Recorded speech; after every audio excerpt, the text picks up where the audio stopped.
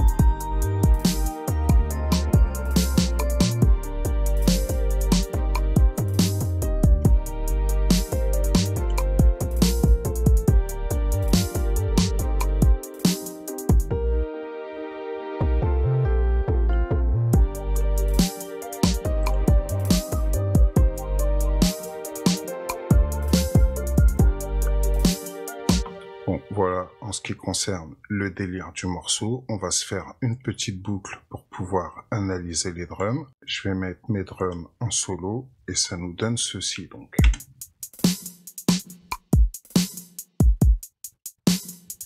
Si je coupe tous les effets, on se retrouve avec ça.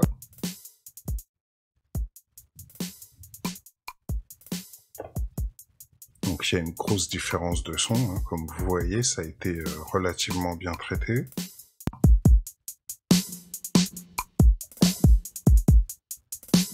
Et en fait, comment ça se passe? Donc comme d'habitude, à chaque fois qu'on va commencer notre mixage, on va commencer par faire les niveaux au niveau des drums. L'ensemble de mes drums va arriver dans le bus gris ici, qui est mon bus de drum. D'accord? Après, sur chaque élément, je vais apporter un traitement adéquat. Donc par exemple, si je prends ma cymbale, directement dessus, j'ai mis un smack attack, ce qui m'a permis de pouvoir gérer l'attaque et le release de ma cymbale. Je vais couper la tranche de console, ce qui va me donner ceci.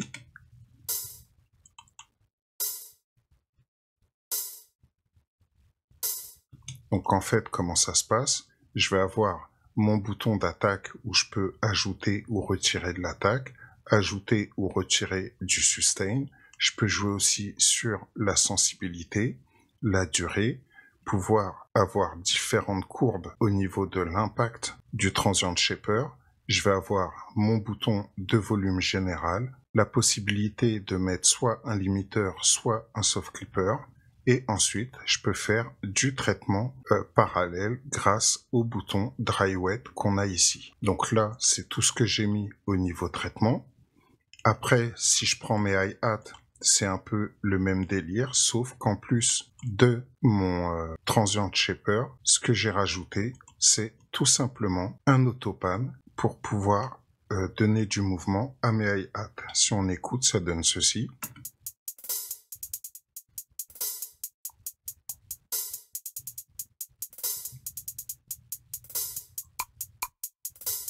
Après, j'ai ma perque, mais sur la perque, j'ai rien mis du tout comme traitement, je l'ai laissé tel quel.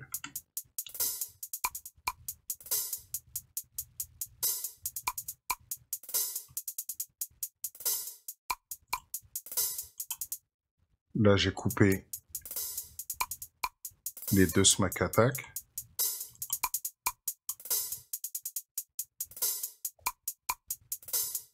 Ensuite, je vais avoir mon kick qui va rentrer en marche. Alors pareil, au niveau du kick, ce que j'ai fait comme traitement, j'ai un smack attack qui va me permettre de gérer l'impact du kick et donc de rajouter de l'attaque, de retirer un tout petit peu de release, le soft clipping et j'ai fait un traitement parallèle et ensuite pour peaufiner le son de mon kick, j'ai fait intervenir la version mono du Sheps 73. Donc si on écoute, si je coupe,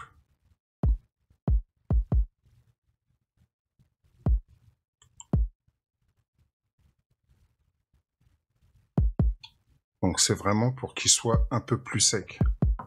Après, au niveau de ma caisse claire, j'ai traité avec le Shep 73, donc ce qui m'a permis euh, de rajouter du grain. J'ai rajouté euh, un peu de basse fréquence, des médiums, des aigus.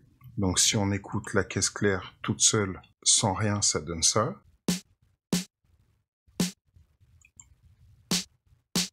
Vous voyez, donc là, on sent le changement entre la caisse claire d'origine et la caisse claire retravaillée avec l'équaliseur. Elle est plus brillante.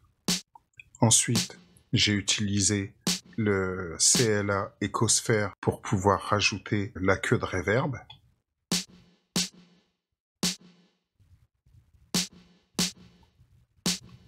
Et ensuite, pour bien maîtriser ma reverb comme j'en ai envie, j'ai redessiné l'ensemble à partir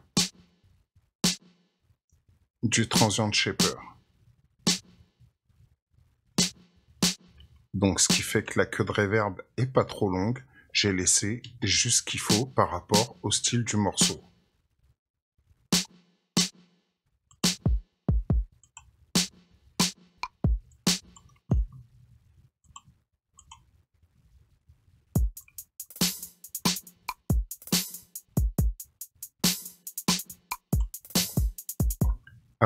Sur mon bus de drum, puisque l'ensemble des drums arrive sur un bus, j'ai utilisé uniquement la tranche de console Omni Channel, donc la version stéréo puisqu'on est sur un bus. Si je la remets en fonction, alors le son naturel,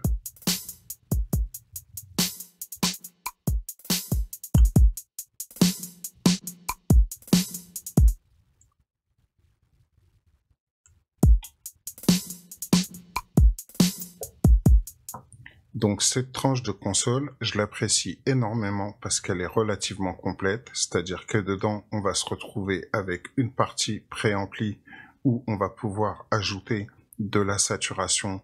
On va avoir trois types d'algorithmes de saturation, une partie filtre, donc ça c'est vraiment très appréciable. On va avoir un expander gate, là je l'ai pas utilisé.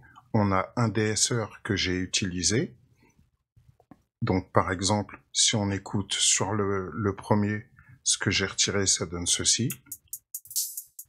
Donc j'ai réduit un petit peu la partie aiguë. Sur le deuxième,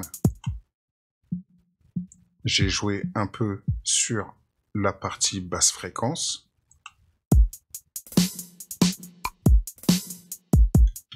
Ensuite, je vais avoir mon équaliseur. Donc, c'est un équaliseur à quatre bandes qui fait vraiment bien le taf. On a la possibilité sur chacun des modules de pouvoir agrandir, que ça soit le préampli, l'équaliseur, le gate, on peut tout mettre en grand et comme ça on se retrouve lorsqu'on est en stéréo avec la partie droite, la partie gauche, où on peut se mettre en dual mono ou en mid-side. Bien sûr, on peut faire intervenir le sidechain, ça va être idem pour ce qui est de l'équaliseur. On peut link ou unlink les différents paramètres. C'est vraiment relativement précis. Si on prend par exemple l'équaliseur, si je le fais jouer, je peux écouter ce que j'ai fait sur les différentes fréquences.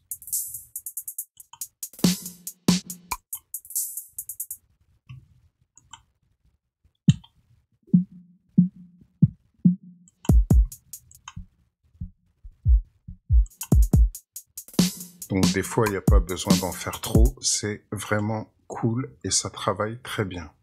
Et ensuite, on va avoir le compresseur. Le compresseur est vraiment hyper cool puisqu'en fait, à partir du même module, on va pouvoir faire quasiment tous les types de compression VCA, FET ou optique. Donc là, pour des drums, j'ai utilisé un compresseur FET. Donc ça va être dans l'esprit des compresseurs NIV. Au niveau threshold, je suis à moins 16. Au niveau ratio, je suis à 3,5.1. Après, en attaque, je suis à 3. J'ai quand même laissé de quoi passer les attaques des drums. En release, je suis à 94,4 millisecondes et j'ai fait un petit traitement parallèle et euh, ça fait très très bien le taf. J'ai même pas euh, rajouter de volume avec le l'output ici j'aurais pu rajouter du, euh, du volume mais j'en ai même pas rajouté j'ai laissé tel quel.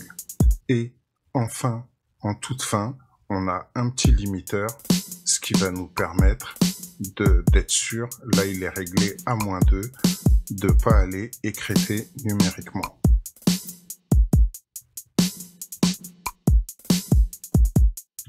Donc ça, un excellent outil.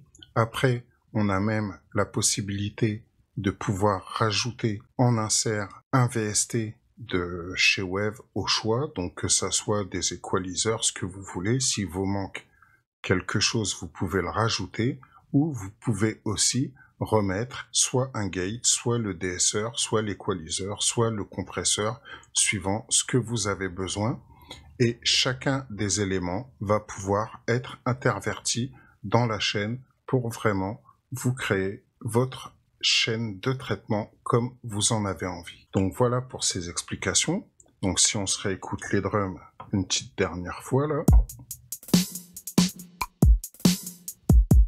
Après, je voulais aussi vous montrer le cas de la 808.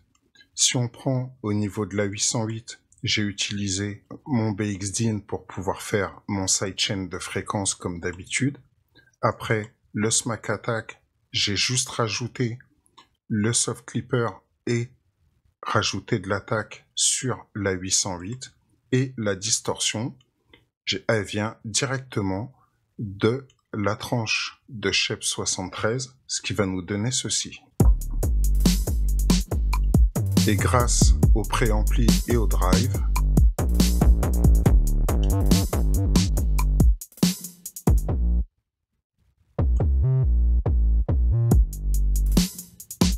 si je coupe le VST,